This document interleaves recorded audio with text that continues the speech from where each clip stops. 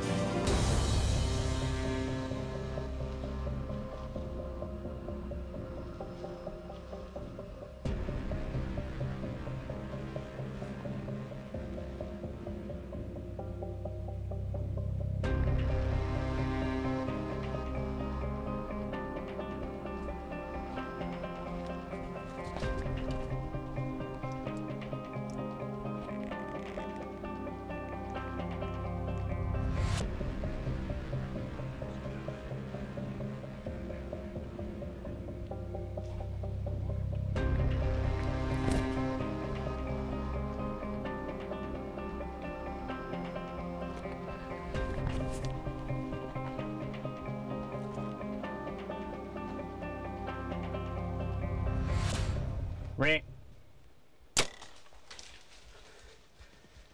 Drilled him, Mac. He's down. We got us a beautiful South Dakota buck. Oh, absolutely incredible. Beautiful deer too, nice nine pointer. I see him laying right there. I mean, he did not go 10 yards.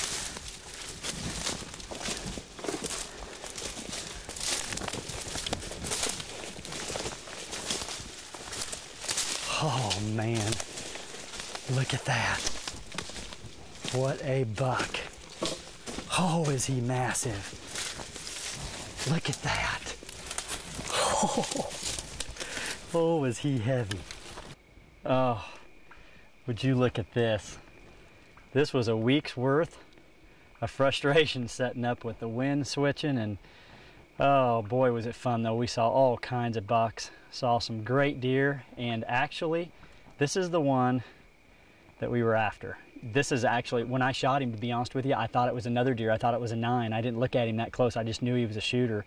And uh, this is the buck that we had seen that uh, had 12 points.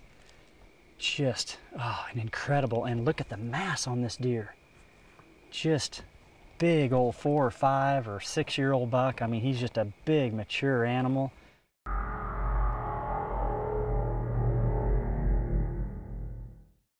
Well, today what I want to talk to you about is I'm going to show you something that, uh, to be honest with you, this is all new to us too, but boy does it work.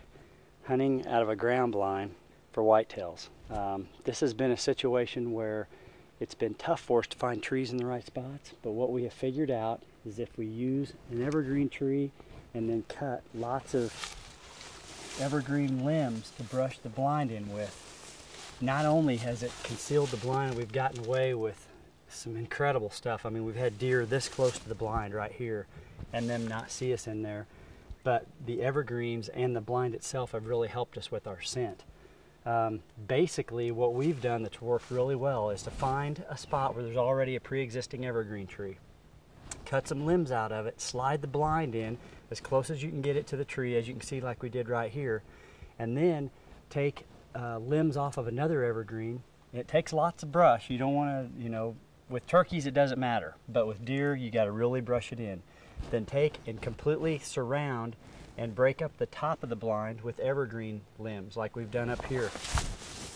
We've just taken a lot of different limbs and thrown them up on top, let them hang over, brush it all the way in, and then when you get in your blind, then you can go to cutting little lanes and stuff so that you can see. We don't like filming through the net and, and uh, for that reason, a lot of guys, if you're hunting by yourself, you can shoot through the net and it won't affect your flight of your arrow at all. But for filming, and I like uh, having the net down in this new, or in the net up in this new matrix, you can just slide the openings in there. Come on in here and I'll show you what, what it looks like for us.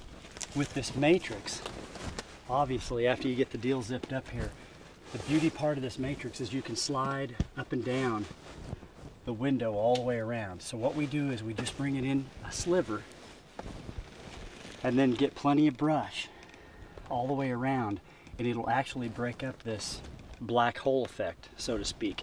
If you have a spot where you can't get in a tree, or if you have a spot that uh, you could actually see better from the ground and the wind has been swirly, the Double Bull is an excellent tool to put you in the right spot and uh, boy has it worked on this trip. If you've never done it from the ground, uh, there's nothing more exciting than having a big buck close. Give it a try.